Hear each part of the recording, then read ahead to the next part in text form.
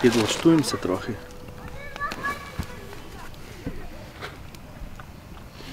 Ну і що знаєш, такий, коротше, момент. Е, е, от, власне, якщо ми говоримо про інтернет і весь треш, який там несеться. Ну. От виходить ця пісня. І всі ці, типу, обіженки, е, бойці економічного фронту. Е, ну, насправді дуже мало було е, хейту, типу, по відношенню до пісні. Я ж так приємно здивований. Але все ж були там в Тіктоці там трохи. Там починають писати: о, що це він, типу, тримаємо посадку, сам сидить на гітарі грає. А, а ми що, маємо типу, йти воювати? Ну, типа, блядь, ясно, що я зараз, блядь, не сижу в посадці, якщо я, блядь, на студії пісню записав і кліп зняв. Ну, ну це ж, по-моєму, зрозуміло.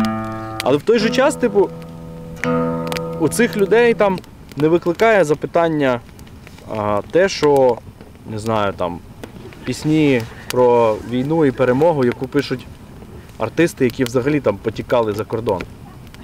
Ну, типа, до нього питань нема, там, да, умовно. Там, до велбоя, е, який е, співає ворогів на ножі там, і так далі. І при цьому я не знаю, чим він там займається, ну точно не воює.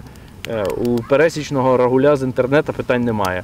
А до військовослужбовця, який був на війні, зараз знаходиться в тилу, продовжуючи службу в Збройних силах і написав пісню, зразу, типу, а чого ж це він не на фронті? І ну, це типу, такий теж момент. У нас, мені здається, е, є такий прошарок суспільний, для яких, якщо ти пішов на війну і звідти тобі пощастило повернутися живим, то ти, типа, хуйово ти воював, братан, блядь. Щось ти, типа, цей, не довоював, блін. Ну, що, якого це ти хрена живий повернувся? Ви ж військові маєте там всі лягти кістками, щоб ми тут собі дал- далі тримали економічний фронт, знаєш? Акушерка посміхнулась мамі. Пані сина народили ви. Погляд хижий дупа в мультикамі. Точно народився для війни. От хто ти? Хто ти є? Я, е, я такий український ковбой, м, мрійник, е, шукач пригод і мандрівний філософ, такий трохи сковородинець. ну, принаймні, таким я був до, е, до початку пандемії, повномасштабного вторгнення, бо зрозуміло, що ці події дуже обмежили моє пересування. Я дуже люблю мандрувати десь, швендяти, щось нове для себе дивитись. Цікавлюсь речима. Е, як сказав би хтось, можливо, я маю допитливий розум. Hello, I'm Sasha Wood and I'm gonna play 24 shows in 24 hours in 24 different places. Hope I will survive.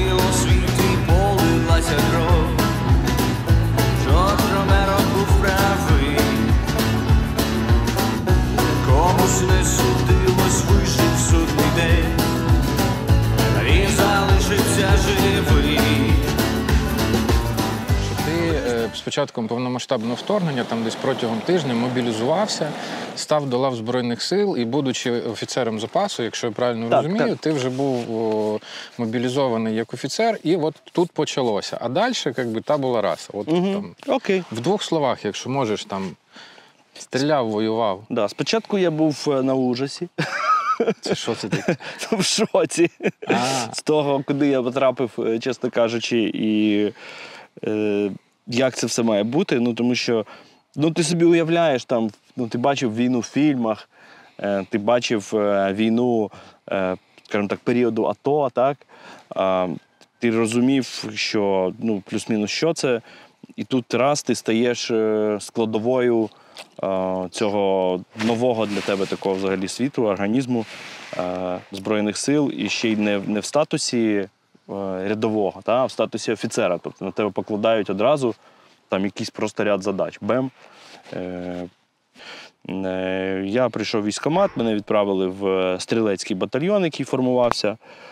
Е, Там на мене подивились, е, сказали, що е, ну, блін, військов... цього досвіду військової служби в тебе немає, досвіду участі в бойових діях немає. Є офіцерське звання, так званий піджак. Ну, тобто Так, ті, так, хто якраз та, хотів сказати. так, це знаєш таке зразу зверхнє відношення. Е, і я зайняв посаду начальника служби РХБЗ. 26 квітня ми отримали розпорядження вибути в зону бойових дій. І я пам'ятаю, що для е, частини людей це був трохи шок, тому що я так розумію, що тоді не до кінця всі розуміли, що таке взагалі Збройні сили, що таке ТРО. Е, Частина тих, хто був у нас в батальйоні, напевно, на той момент все ще думали, що вони ТРО, і що вони будуть е, охороняти там якісь типу мости в Чернівецькій області. Е, А тут виявилось, що треба їхати кудись далеко, на Харківщину, і, і брати участь ну, прямо в великій війні. Але не було у нас відказників, тобто всі поїхали в повному складі, весь батальйон вибув. Прибули ми туди, і буквально через кілька днів у нас забирають заступника начальника штабу, переводять його в інший підрозділ. Звільняється місце заступника начальника штабу, і начальник штабу каже мені: слухай, ну, діватись нема куди, мусиш ставати начальником штабу, точніше, заступником начальника штабу на його посаду. І так моя історія з РХБЗ дуже швидко закінчилась блискавично. І я став е, таким суто піхотним військовослужбовцем, їздив по посадкам, по розбитим селам, проводив рекогносцировки, планував е, взаємодію, організовував між структурними підрозділами батальйона, між е, суміжними підрозділами, з якими ми поруч вели бойові дії. І почав ставати військовослужбовцем. Тобто я вважаю, що вже тоді почалось якесь моє становлення саме як офіцера. Все, що було до того, це такі були. е, Ну, мені здається, що ти не можеш бути готовим до війни, поки ти на неї не попадеш. От і все. І всі ці стрільби на полігоні це було одне, але коли вже е, на плечі звалилась відповідальність за людей, е, коли, коли ти вже побачив безпосередньо перед собою ворога, коли вже почались серйозні бойові завдання, тоді я вже почав усвідомлювати, куди я потрапив, і, і якось стало легше і спокійніше. А тримаємо посадку це якраз про цей період пісні? Так, так, так. так. Це про цей період, е, і вона народилася як жарт, е, тому що коли з'явилася пісня про пса патрона, е, і це, це щось типу було, ми десь там стояли на цигарці з пацанами, і щось хтось знову за то, блядь, пса патрона, чи то, чи за пса, псу патрону дали е, медальку, чи щось. Ну, якась знову був черговий інфопривід пов'язаний з псом патроном. І я кажу, бля, я не знаю, що ти пес патрон тримає. Ну, Тут, блядь, люди тримають села і посадки. І так ця фраза просто ми всі поржали, вона закарбувалася якось в мене в пам'яті. Е, і вже коли пройшов час, коли я повернувся в тил, коли в мене був час якось е, це все осмислити, е, вона десь там сплила в мене в пам'яті е, і лягла в основу пісні. Чи є ще щось? Ну, от, Так, звісно. У мене зараз в роботі є три пісні, е, написані за е, нотатками такими моїми воєнними. Е, весь цей фольклор я хочу е, власне, видати у вигляді пісень і видати альбом з, з такою банальною назвою Дембельський. Тобто, щоб це була така своєрідна гра слів, ну, дембельський альбом, як колись робили. Е, Ми цю історію обіграли в кліпі Тримаємо посадку. Можливо, ти бачив, там такий є обшитий оксамитом альбом. А, і, і, власне, таку, таку, цю історію я хочу обіграти з альбомом. І це буде виключно весь альбом, е, присвячений на 100% тому, що відбулося зі мною за останні півтора роки. В ТРО Монако не просився, Бог милував від Буковельського котла. Ще в дитинстві віщий сон наснився, жде мене замурзана махра. А я хотів тримать економічний фронт, а у житті не завжди все йде гладко. Тож доки пес патрон тримає район, ми з пацанами тримаємо посадку. Ми з пацанами тримаємо посадку. Зараз фактично базою Збройних сил України є якраз от, ну, цей контингент. Типу ті, хто не відкупився, ті, хто не переїхав з одного міста в інше, ті, хто не виїхав за кордон, ті, хто фізично просто не, не, ну, не з'їбався, не втік просто фізично від, від тих самих від ТЦК, які ходили, роздавали повістки. І фактично виходить, що ти з своєю е, типу, електоральною базою, отак, от, типу, нос до носа зустрівся. Ну от і як воно? Ну, типу, чи зразу знайшлася спільна мова? Тому що ти такий, знаєш, типу, кантрійний кобзар, і тут тобі на. Натура. Так. Я думаю, що багато військових зі мною погодяться, що є оцей такий типаж вуйків таких. Вуйків, діди їх по-різному називають. І це для мене найбільше відкриття. Тобто, це такі чуваки, у яких інколи там на трьох зубів назбирається стільки, скільки там у мене одного є, і з тих там половина буде золотих які, може, такі трохи черствуваті, е, може, з ними не завжди знайдеш про що поговорити, тому що тем для розмов у них не так багато. Але їм притаманний такий якийсь дідовський стоїцизм. Тобто, коли всі розуміють, що е, там якась шикується е, заруба, е, і видно, що якось всім не по собі. Е, ці чуваки там беруть там, РПГ, той автомат, і такі, ну, хлопці, я пішов. І ти дивишся на нього, і він це з якимось таким спокійним виразом обличчя робить. І ти знаєш, що він піде, і він буде до останнього. От йому скажуть отут тримати конкретно цей сектор окопу, і він його буде тримати. Він там досидить, він зробить все для того, щоб не пропустити ворога. Він там загине, тому що от він такий от вуйко. Ви ще молоді пацани, вам ще треба. В тебе що, в тебе ще навіть дітей нема. Що тобі? Я піду. Я вже трохи пожив, і там чуваку 45 років. Але в нього є оцей такий вайб цього такого вуйка. Е, і от, власне, ця категорія людей для мене була е, таким якимось найбільшим відкриттям. Було багато таких молодих рексів, та, які там з страйкбольної історії е, потрапили в Збройні сили. І не вони є оцим таким кістяком, в якому ти можеш бути впевненим на 100%, а саме от такі от діди. Про дідів там теж буде окрема пісня. От про, конкретно про цей тип е, представників Збройних сил України.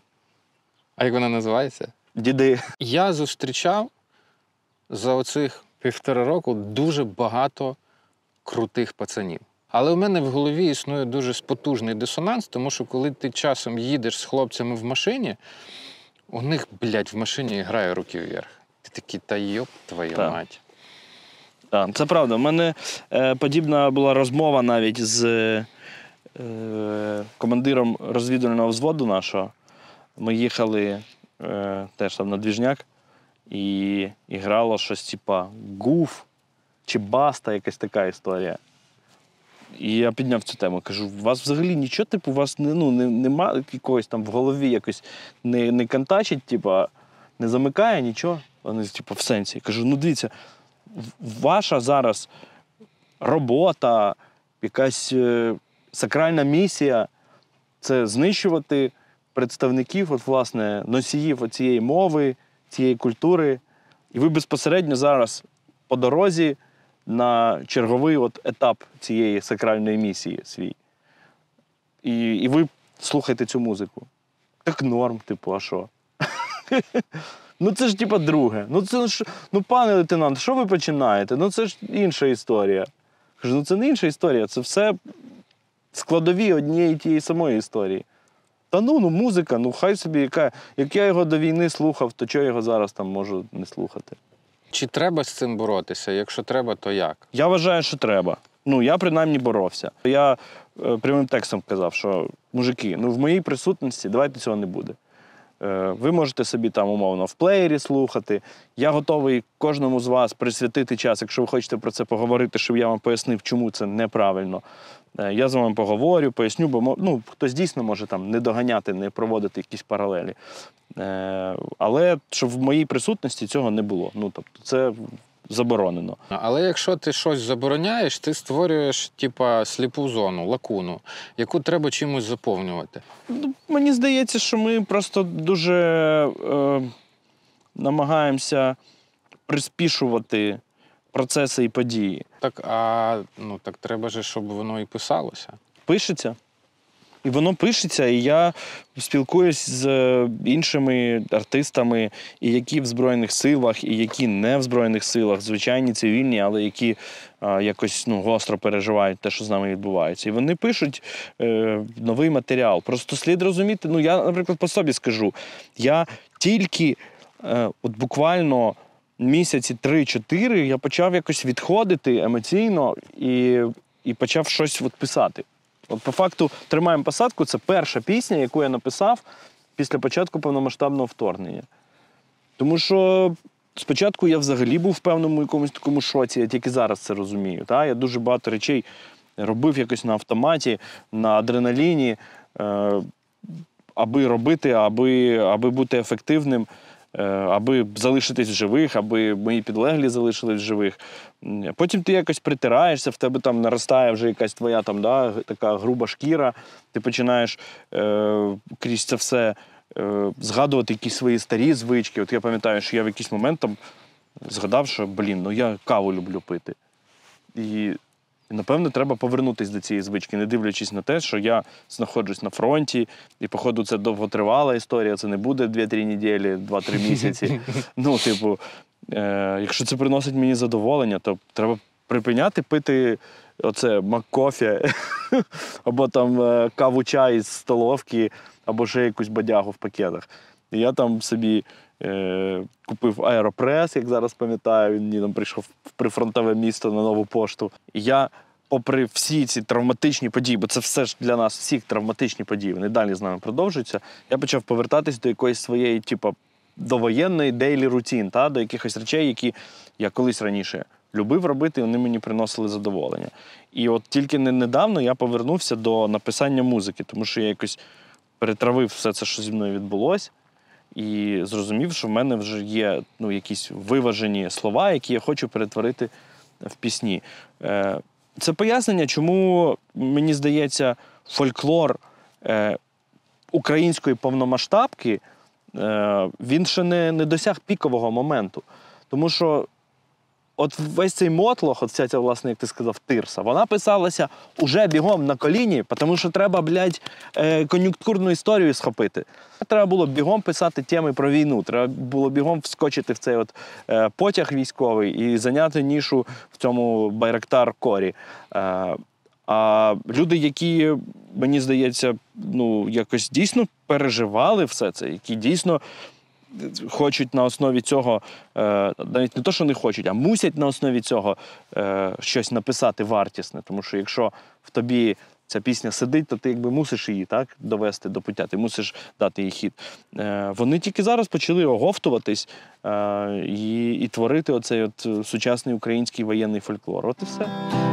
І от я їду по курній дорозі. Праворульний корч знов затроїв. У знемозі став у верболозі. Тільки би москаль не заптурив. А що було таке саме жорстке, от що згадується, таке, що прям ой-ой-ой. Саме жорстке це було е, населений пункт Прудянка. Е, тому що на Харківщині, по факту, це типу, був основний такий е, вузол, який ми тримали по дорозі з населеного пункту Цупівка, який вже е, був під контролем е, росіян. Е, і от Прудянка і околиці це була власне наша лінія оборони. І цю прудянку її просто день і ніч, блядь, хуярили з усього, з чого можна було на той момент хуярити. І от коли якось їм підвозили БК, не знаю, або у них там блядь, більше горілки ставало, і вони прям дуже розгулювались, починали хріначити по, по цій прудянці і околицях. Е, і, і, напевно, це відчуття просто якоїсь такої елементарного, елементарної безвиході, що ти, ну, ти ніяким чином взагалі на ці обставини не можеш повпливати. От тобі просто треба, стиснувши зуби, пересидіти, перечекати. Е, тому що після цього може початись е, піхотний наступ. І, і щоб це просто через якийсь час знову повторилося. А потім знову, а потім знову. А потім в результаті, коли нас е, з тої прудянки виводили, то з нею вже, в принципі, залишилось там три погріба, і вже просто не було особливо що обороняти. Я тут згадується мені жарт Сергія Ліпка, який, до речі, є в інтерв'ю Сергія Ліпка для українського свідка. Ми даємо посилання на нього. Подивіться обов'язково. Е, а от чи були моменти, коли от ти сидиш зверху, всиплеться земля, гілля, ну коротше, от це те гамно. А ти сидиш і думаєш. Йоп, твою мать, що я тут роблю? Так, так. Я ж можу взяти гітару і піти на культурний фронт. Так, ні, та були неодноразово, е, коли десь припікало, коли було страшно, то я себе просто ловив на думці. Знаєш, коли ти е, сам з собою починаєш говорити, типу, ну що, блядь, хотів повоювати, блядь, повоював? Повоював? Отак хотів, да? Ой, хотів повоювати, хотів на войнушку, блядь, подивився, що воно таке? Ну що, блядь? І що найсмішніше, що я ж то коли. Е, ну, блін, я не до кінця розумів, як воно все функціонує, напевно, як і більшість мобілізованих. Я собі там е, натаскувався е, там. Е, по вогневій підготовці, да, в мене там своя зброя була, з якою я, в принципі, там ще до повномасштабного вторгнення періодично ходив е, на стрільбище, займався. Е, уже коли ми формувалися як е, бойовий підрозділ, е, я регулярно займався вже своїм там, да, штатним АК, який мені видали, е, всі ці тактичні перезарядки, стоїчки і так далі. Я дуже багато відстріляв на полігоні. До мого прибуття на фронт там настріл був, напевно, блін, овер тисяча набоїв. Е, і, і коли ти потім розумієш, Помогло? що. Ні.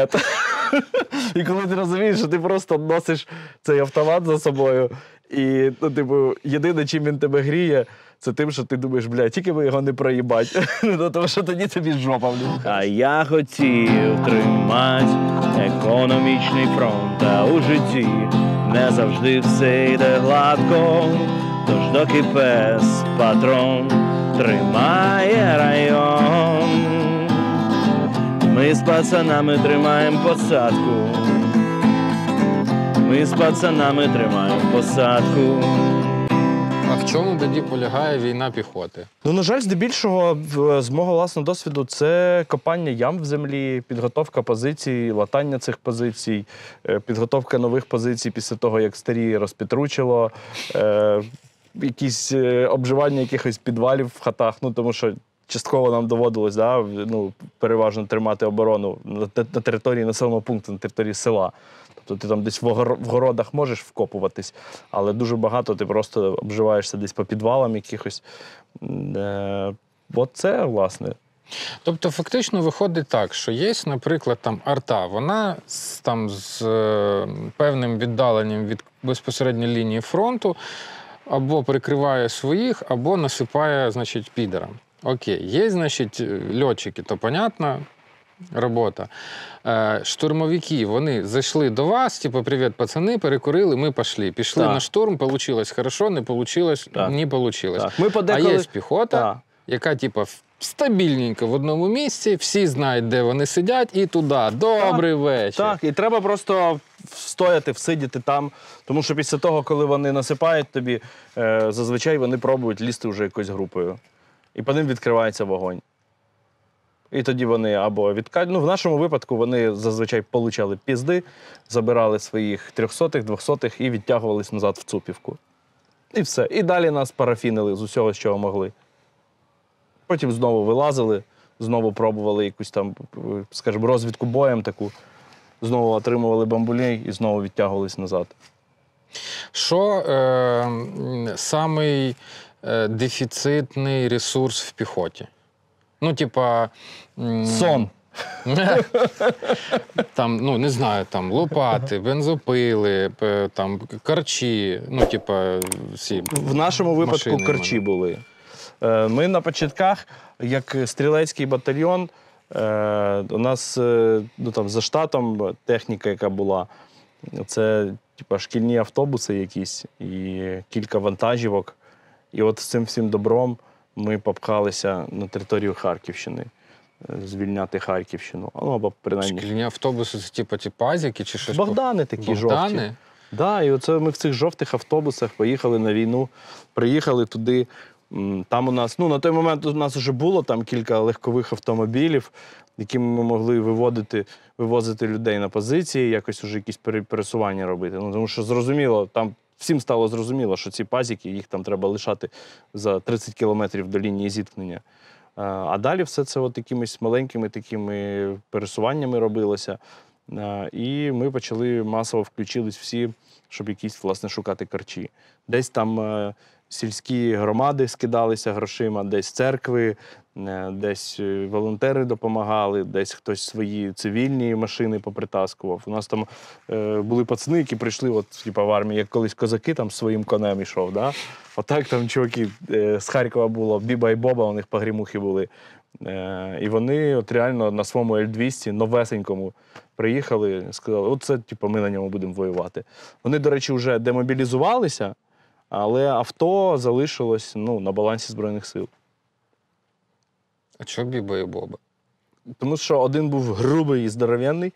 Е, Він навіть якийсь час воював просто в спорткостюмі Adidas з лампасами, і в нього тут такий бронік, плитоноска, такий як слюнявчик тіліпався. Ну, тому що він був дуже величезний. Е, І коли на нього там начальник штабу комбат подивились, сказали, ми тобі дозволяємо, блядь, воювати ну, в тому, в чому тобі зручно, братан.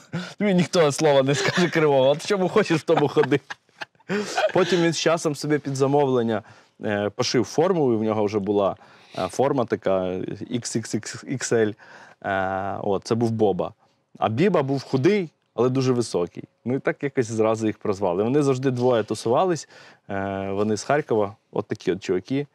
Льоша і Денчик. Сподіваюсь, з ними все добре зараз. От. І просто що смішно, що вони вивезли свої родини в Чернівецьку область, пішли в військкомат, сказали, ми хочемо воювати.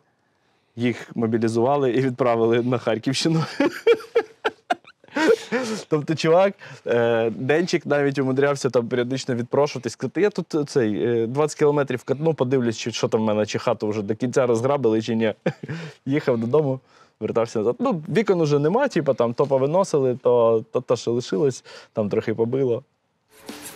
Взяв сокиру ніж і зібрав рюкзак Спирт, консерви, аспірин З радіо сказали надзвичайний стан З-поміж всіх країн Що, чим тебе, як тебе змінила війна? Як ти відрізняєшся? Як Саша Буль, який йшов в військкомат, відрізняється від Саша Буля, який от зараз є? Ну, я точно став категоричніший по відношенню до всього. Починаючи від е, категоричності по відношенню до, до ворогів, закінчуючи категоричністю по відношенню до друзів і близьких мені людей. Ну, немає якоїсь міри, не знаю, обмеження моральної, яка мала б тебе зупиняти. Ясно, що є законний звичай ведення війни, і тут ну, ми мусимо ними керуватись. Але суто морально, ну, немає якогось стоп-крана там. Це категоричність по відношенню до ворога. Так. А ти ще казав про те, що з'явилася категоричність по відношенню до рідних, ну там друзів, рідних і близьких. Так, в ну, чому я- вона виражається? Тут я думаю, що багато хто зі мною погодиться, е, що ну, я особисто став е, прискіпливіше добирати своє коло спілкування. І речі, на які я, можливо, раніше би десь прикрив очі, подумав, що ну да, ну мені це може не дуже подобається, але загалом він, типа, хлопець непоганий там, да? е, і можна якось на це не зважати. То, то тепер е, ну, я хочу, щоб е, серед мене, точніше, довкола мене були е, люди, з якими мені дійсно, ну, типу, по дорозі. От і все. Ну, я, мені не потрібна кількість, мені потрібна якість, от і все. 100% у тебе широке є коло спілкування за кордоном. Та? Е, і ти там співпрацюєш з виконавцями з-за кордону в тому числі. Е, чи були ситуації, коли тобі казали, що от, звісно, приїхали українці, ми їм дуже раді і готові допомогти, але некоторі, звісно, Мгм. тут, извините, тут таке, ви би там щось з цим робили. Я ж е, граю в Міндетмен. Мгм. Це міжнародний гурт, де учасники з Британії, з Італії, е, і поляки, і я. І якось дзвонить мені е, барабанщик наш, Лукаш, і каже польською мовою, що Саня, слухай. Блін, мене так коротше взбісили вчора. Я хочу з тобою поговорити, бо, можливо, ти мені дасиш відповідь на це запитання. Він живе в Гданську. В Гданську і так завжди було дуже багато українців, а зараз поготів їх стало набагато більше, бо якби, українці тягнуть за собою інших українців. Пішло-поїхало. Е, і е, він каже: ми там з друзями щось десь тусувались, спілкувались. А він такий е, завжди всіх переконує. Там, е, якщо хтось має якусь там неоднозначну позицію, то він там любить вступити в дискусію і довести, що от треба підтримувати Україну. е, І насправді як ця ситуація виглядає. І він каже: і ми зачепили тему війни. Е, Я там почав когось переконувати, і тут люди, які мігранти з України, які втекли типу, від війни в Польщу, почали казати, що, типу, та це, типу, взагалі не наша війна, це типу, війна політиків. Захід М. напомпував нас, типу, зброєю, бо Заходу е, вигідно там, типу, макнути Росію. Е, і вони хочуть це зробити руками українців, тому ми, типу, сюди виїхали, бо ми не хочемо в цьому марати свої руки, на що нам це треба, хай вони там самі типу, розбираються. І він каже: блін, в мене була така злість, що я там типу, хотів вдарити там, цю людину.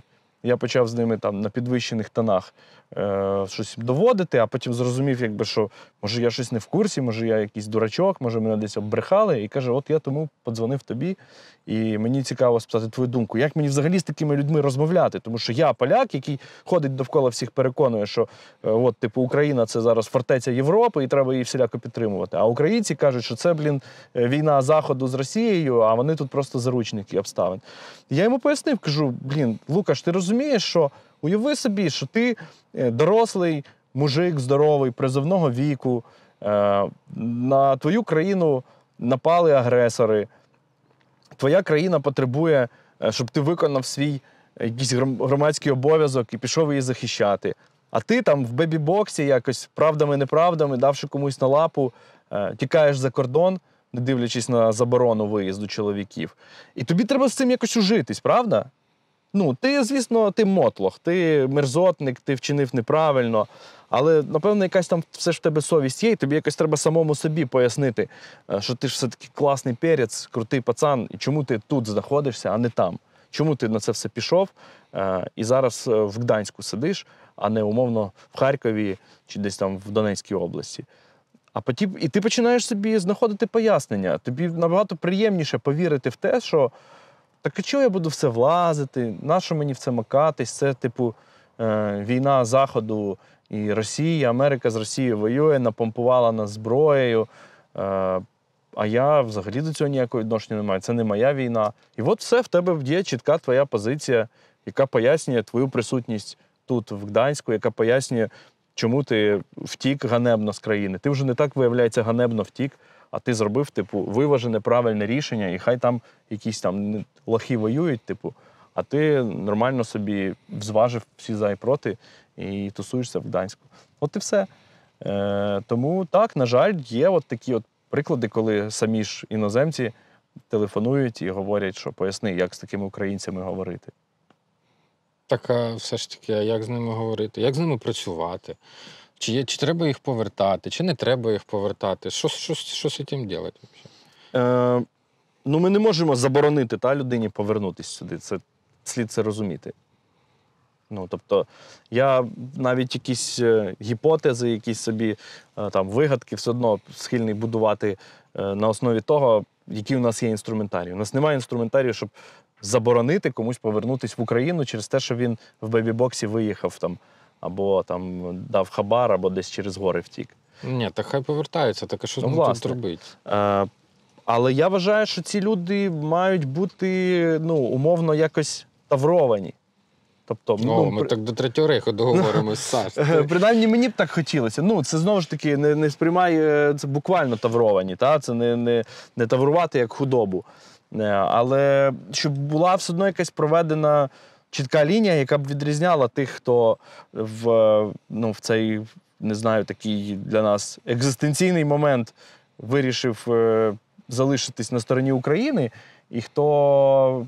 Просто порушивши закон, там рятуючи свою Ну, дупу. тобто, як механізм можна використати, умовно кажучи, обмеження виборчого права. Обмеження виборчого права, не знаю, адміністративне стягнення якесь, е, там, заборону займати там, не знаю, певні якісь посади е, і так далі. Ну, тобто, просто зміркування якоїсь елементарної людської справедливості. Я розумію, що справедливість це така, типу, теж е, такий якийсь туман, він ніби є, а ніби його й нема. Е, але ну, ну просто мені здається, це неправильно, якщо в результаті потім. Ти ж розумієш, ну є така приказка, що е, поразка вона завжди сирота, а у перемоги завжди дуже багато батьків. Багато типу. батьків. А, і коли, коли ми переможемо, то власне буде звучати фраза, що ну ми ж перемогли всі разом. Я повернувся з Польщі або там десь з ще звідкись з Англії, бо ми перемогли. І Потап з Бабкіним співає гімн України Так, так, на так, так. Так, і більше того, я боюсь, що Потап з Бабкіним ще будуть нам вказувати, що ми десь не за те і не так воювали насправді. Тому що такі спроби вже робляться серед цих, от, хто там намагається повернутися в український е, А як? та? Я, яким чином? Я просто може пропустив і не Ну, не не знаю. е, е, Такий гучний момент пісня Бабкіна, оця зрада, яка нещодавно Хуй, вийшла. Ну, да, вибач, якщо в тебе рвотний рефлекс це Я викликало. поняв. Я, у, мене, у мене просто я чого про це зразу не згадав, бо в мене свідомість е, е, ігнорувала існування цього непотребу. Але окей, та, це Та, розумієш? класний приклад. От, і людина е, там обіграє, причому пісня написана на основі якихось таких типових російських наративів про те, що там українець, патріот це той, хто жере там, типу, сало, носить вишиванку і так далі. Е, і людина вважає, що от вона там цією піснею намагається внести якесь там світло правди і справедливості, і що на нього там е, накинулися шак- шакалячий експрес ні за що. Е, і він от написав таку пісню, щоб в людях пробудити якусь свідомість і зрозуміти, що не треба там, типа, їсти своїх. Ну, чувак, ну ти не свій. ну, В економічні сили нас не запросили. Кому донати, а кому лопати. Поки одні косили і під кальян тусили. Хтось такий та й мусив воювати. А я би міг тримати економічний фронт, а у житті не завжди все йде гладко. Тож доки пес патрон тримає район. Ми з пацанами тримаємо посадку. Ми з пацанами тримаємо посадку. Ми з пацанами тримаємо посадку. Як в тобі збереглася людина? От в усьому цьому от великолепії. У мене бувають моменти, коли е, я прям так озлоблююсь якось і в, в- дуже якось м, д- різко е, ставлюсь там до всього, що мене оточує. Але ну, це трошки як е, биття головою об стінку. Тому що ця злість, вона тільки тебе самого ж з'їдає, тебе самого робить е, контрпродуктивним. Е, тебе самого вганяє просто в якесь дно, в якусь таку печеру, е, в якій нічого хорошого, крім там, не знаю, думок, напевно, про суїцид, тебе не чекає. Тому я от завжди намагаюся собі це пояснити тим, що ну блін, ну ми люди, ну ми такі. Та мені б хотілося, щоб це все довкола було трохи інакше, ну але так склалося. Ми просто в таких обставинах і нам зараз не переливки. Бачиш, я аж заплакав.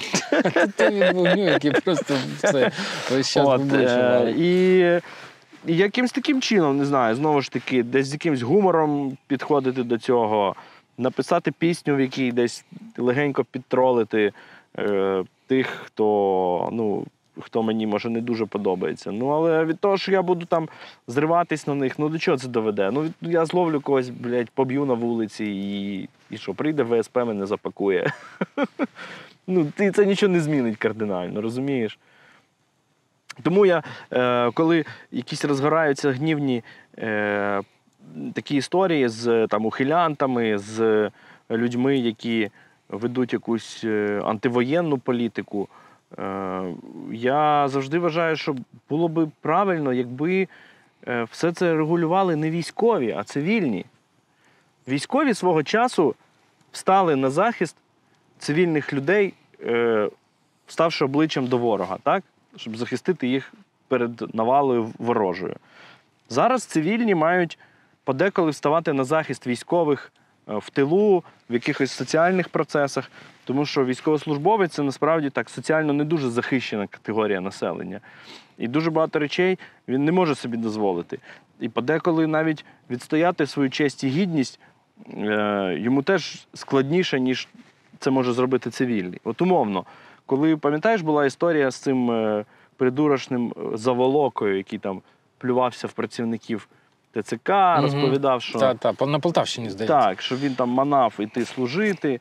Е, ну і тоді таке було масове обурення. Я навіть тоді написав в Твіттері, що по-хорошому його мали б зловити і пробити йому фанеру не військовослужбовці, а цивільні.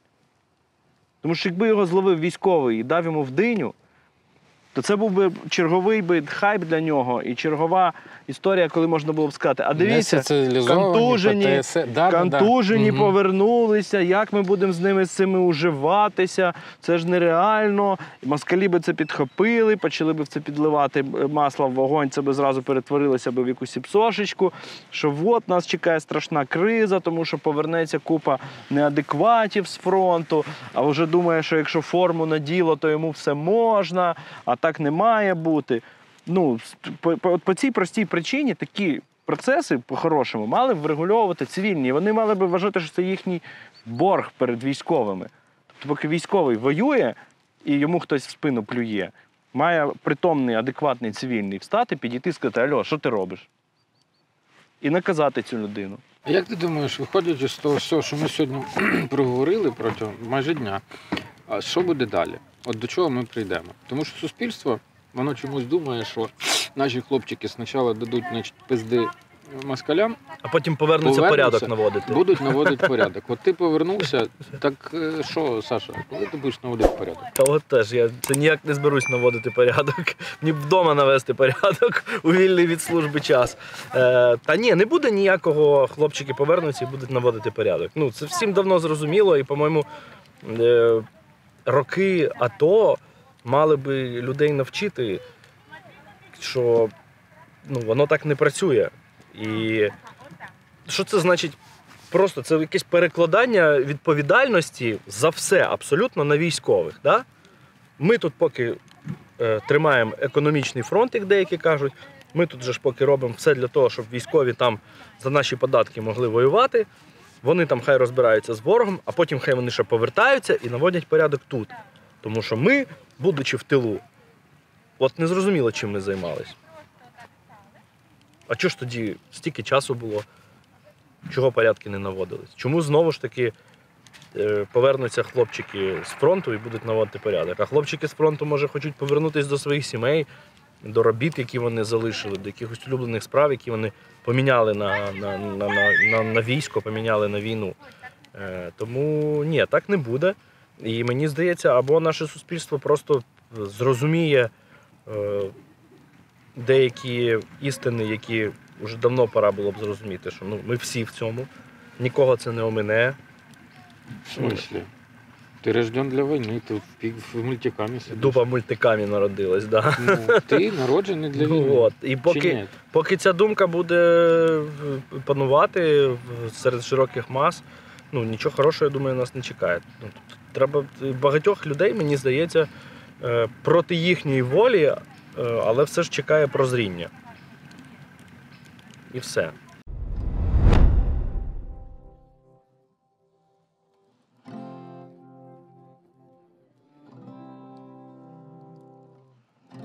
Татуювання Long Road.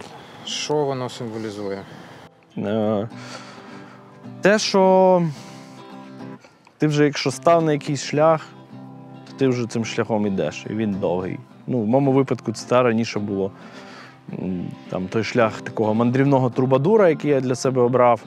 Е, І це, ну, типу, буквально це була довга дорога, така нескінченна, тому що ти з місця на місце їдеш, концерти, і ти знову переїжджаєш, знову переїжджаєш. Е, І Ну і так, скажімо, світоглядно про те, що ну, треба вміти грати якось вдовгу, треба вміти е, марафонити, не лише спринт. І, і бачиш, як історія з повномасштабним вторгненням, вона, типу, вкотре це довела. Ну, там, може, там частина суспільства сподівалася, що це буде якась така швидка акція. Раз-два розібралися і повернулись до старого життя, ну не вийшло. Е, Тому і тут виходить, що це теж якийсь такий марафон, в якому треба берегти сили, е, шукати своє місце в цій вервечці, якось його займати. Ну і планомірно просто до, до мети рухатись. Таке враження, що він за мною ходить.